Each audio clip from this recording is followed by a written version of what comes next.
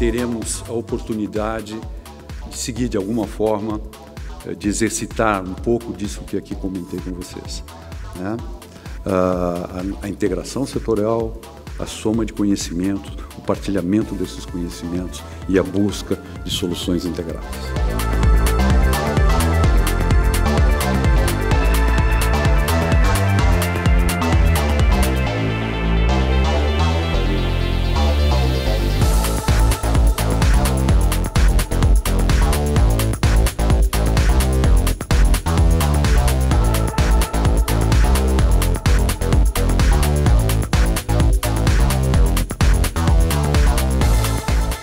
Uma primeira edição do manual.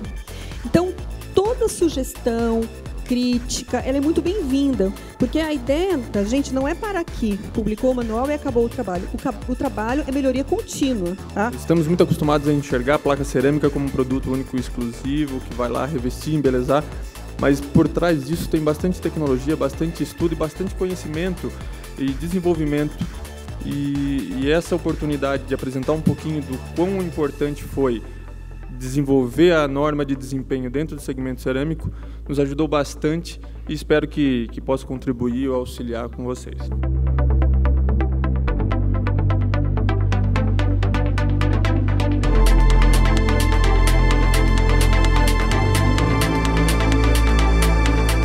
ainda é muito difícil fazer o cálculo tanto simplificado quanto a simulação por falta de dados dos materiais, componentes construtivos com relação a esses dados técnicos. Então, são dados difíceis de serem encontrados, são poucos fabricantes que ainda que já disponibilizam essas informações, então a gente ainda tem que caminhar bastante para conseguir realmente ter essas informações. Isso é um dos aspectos positivos que eu gostaria de ressaltar dessa parte de desempenho térmico da norma. Elipse, pesadelo do acústico, né? Qual o segundo pesadelo do acústico? É o cubo, né? Todas as dimensões iguais. Mesma coisa, teve que fazer um tratamento especial, rebaixar o forro, usar é, superfícies foram absorventes em locais estratégicos, teve que ter feito todo um tratamento acústico porque a forma era muito desfavorável. Mas nesse caso, a forma era essencial ao conteúdo que eles queriam apresentar.